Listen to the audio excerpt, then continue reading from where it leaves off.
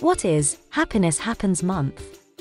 Happiness Happens Month is celebrated every year in August. It is a time to celebrate things that make us happy and a time to spread this same joy to others. The month reminds us that happiness can be found in the smallest things and that spreading this joy can help to make the world a happier and better place. When and how did it start? Happiness Happens is an organization that was started in August 1998 by a group called the Secret Society of Happy People. The group was encouraged to share stories and moments in their lives that made them happy. The members then began to recognize moments from their own lives that gave them happiness.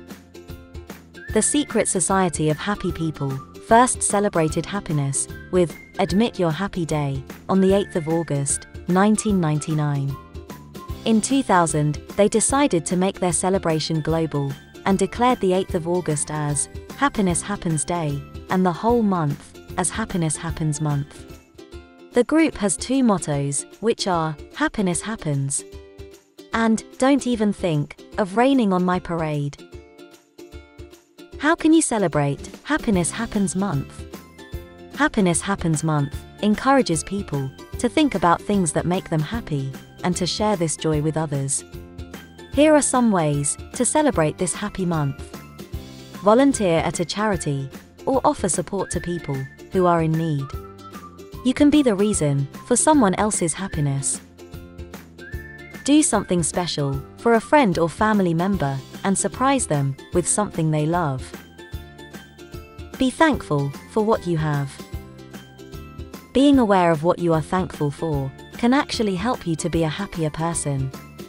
Do something every day that makes you happy, even something small, like singing in the shower, visiting a favorite friend or relative, or maybe just taking a walk in the park or on the beach.